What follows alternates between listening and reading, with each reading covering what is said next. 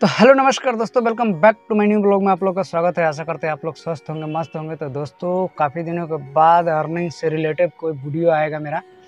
और बता दें कि अभी साढ़े तीन बज रहा है और अभी अभी ट्रिप को स्टार्ट किए हैं। देखते हैं आज का अर्निंग क्या होता है नहीं होता है। ऐसे तो गर्मी की वजह से ड्यूटी व्यूटी नहीं हो रहा है। आ, आज देखते हैं क्या होता है कितना अर्निंग होता है आप लोग को बताते हैं कौन सा एरिया में कितना हो रहा है नहीं हो रहा है। और काफ़ी दिनों के बाद मेरा वीडियो आएगा। दो, दोस्तों बता दें कि हुसैनपुर से ट्रिप लेके आए हैं भाई प्रिंसेस घाटेड और प्रिंसेस घाटेड में अभी बैठे हुए हैं। देख रहे हैं यहाँ से हो सकता है हमको जाना पड़ेगा बीबीटी पार्क और वहाँ जाते हैं तो हमको लगता है कि मिल जाना चाहिए। और तो दोस्तों अभी आ चुके हैं घर और टाइम हो रहा है साढ़े ग्यारह बज रहा है।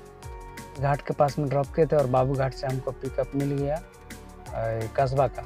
और कस्बा में बैठे हुए थे तो थोड़ी देर के बाद हमको एक्रोपोलिस मिला। और एक्रोपोलिस हमको मिल गया। पार्क स्ट्रीट का। और थोड़ी देर बैठने के बाद हमको मिल गया पार्क स्ट्रीट से ये पियरलेस के पास में जो उपहार बिल्डिंग है, वहाँ का मिल गया। और उपहार से उपहार से फिर उपहार से तो नहीं मिला, दो किलोमीटर एमटी करना पड़ा, वहाँ से फिर हमको मिल गया।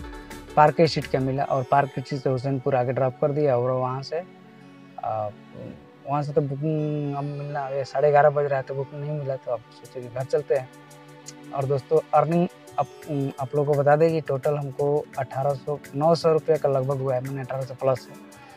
तो इसमें से तेल लगभग सात सौ का गया होगा। और बता दें कि यही अर्निंग है, और छः, सात सात घंटा, साढ़े सात घंटा ड्यूटी हुआ।